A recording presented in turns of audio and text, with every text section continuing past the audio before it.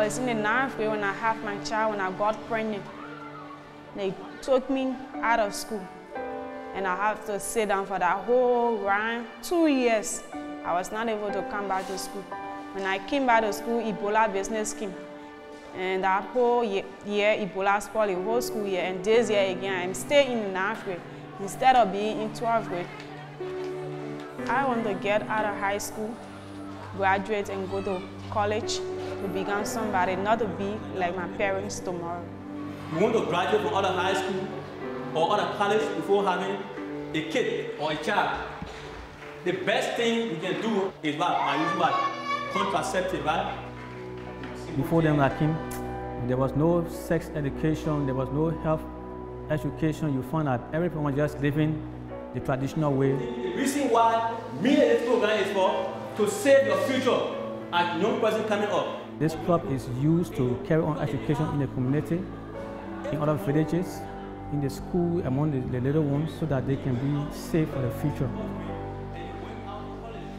James helped me to get on my contraceptive to protect myself and I was able to understand him and today I think I am blessed because as long as I understand, I won't make a mistake in my life again.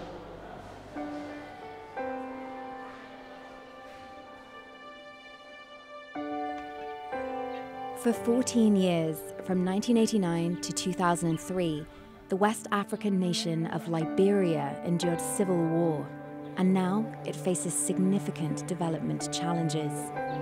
Only 15% of youth graduate high school, and almost a third of young people are unemployed. The area of reproductive health is particularly problematic. The birth rate is almost five babies per woman, and one in 100 mothers will die in childbirth. Meanwhile, over 30% of Liberian women have no access to family planning services that would help them control their pregnancies and prevent disease. In the most remote communities, family planning items like birth control and condoms are often out of stock, and pharmacists, clinic staff, and health educators are also in short supply. This was a situation that required human resources. So we worked with UNFPA and the Ministry of Health, you know, su uh, supplies chains unit. And we all came up with the idea of, you know, uh, sending volunteers, young people in the field to help us solve this, this, this problem. Okay, this morning we'll be talking on family planning. Can anyone tell me what they know about family planning this morning? 50 young men and women were chosen to be part of an inaugural corps of reproductive health youth volunteers. I want to do this job in order to help to reduce the teenage pregnancy in our country and to make sure every breath is important as well. Before going into the field, the volunteers received training on health education and service provision, as well as in supply chain management. They committed to serve for at least one year in health clinics and drug warehouses in the five Liberian counties most in need. When a client comes at the facility there, we give them health talk on the prevention of STIs. We talk on HIV and AIDS, the different infections, how they get in contact with them. And we're still talking on Ebola because we are not, we can say we are 100% free yet. We still give uh, uh, lectures on Ebola prevention. And we also tell them how to prevent pregnancies. You will not have pregnancy and you will not have STI, sexually transmitted diseases. So you see how safe the condom is? It's better. And then Tell the is going to stop you from getting pregnant. It will not prevent you from getting sick. Those sexual diseases will not prevent, prevent you. But if you take the table, on the other hand, you use the condom, you are saving yourself from sickness. If I taking a depot and I start to bleed, what can I do? What's all the depot I came on to you, eh? Go back there. Tell the people say I took the depot, but my flow can't stop. When I talk to them in that manner, I think they will listen more than an older person talking to them. So I can talk to them like friend to friend talking to friend, that they will be able to listen to me. The time I came here, I met Sis Lucky. I explained to her. She said, oh, you have to take your family plannings to space your children. And I went to my husband and told me that no way.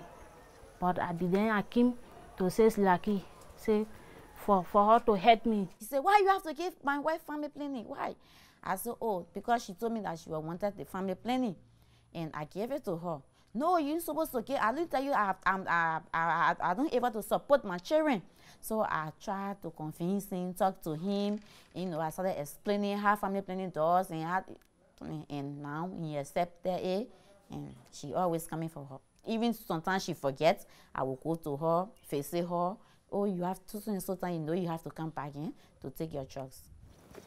The volunteers' deep engagement in their communities means that clients trust them with their most intimate questions and concerns. How you doing, your family people?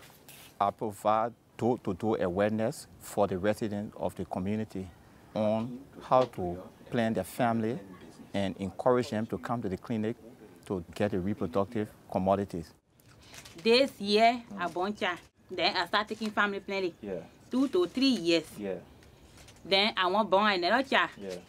When I stop taking the family planning, Yeah. it will still be good for me to get pregnant soon. Yeah. So when you're ready to have the child, you go back to the clinic, to the nurses, then they will explain properly to you about how to uh, start the family planning and have the second child.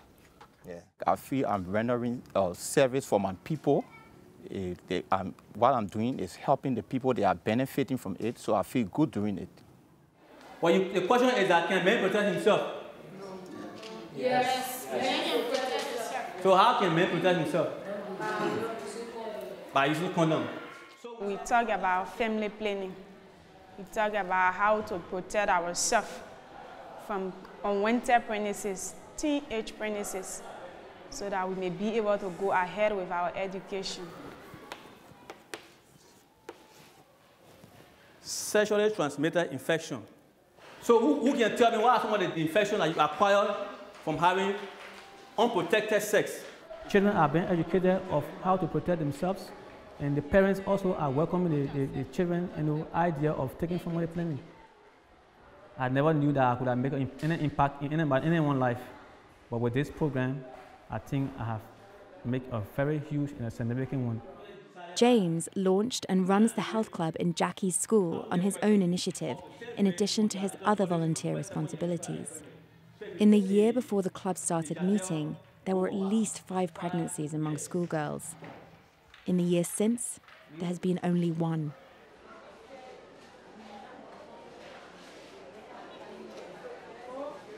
When I started here, one of the commodities we call the Depo-Provera, they were out of stock for a very long time. Yes, so that chain of, you know, it was broken. Now we have two persons stationed at NDS where we send our requests. So I'm here and I'm going low on the supply. I've sent in my request. Then I just call my colleague there. Oh, and brother, my request is there. Can you please follow up on it so that I get it on time? You know, so that there will be no. From the time we started this program, actually, I should admit, there have not been any shortage of commodities here. Two years here, there have not been shortage of it. This is the country's national depot. This is where all commodities i- that is brought in from other countries is stored and is distributed from this point to the facilities. I'm here to monitor, report on basic reproductive health stock level. Yeah, this is funny. Behind the scenes, youth volunteers make sure that reproductive health supplies get to the women and girls who need them. We actually make sure that these commodities get to the depot, from the depot to the facility, and then we, we track file it by going on the field to monitor and to know as to whether it has reached our end users. And our end users are the patients who take those commodities in.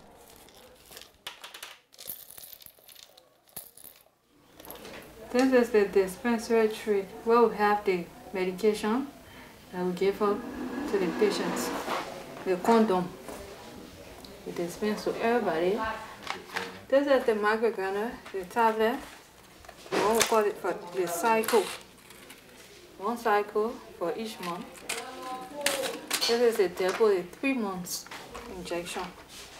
The Jadelle, this is the five years, the one got five years. The Jadelle, we put in the arm too.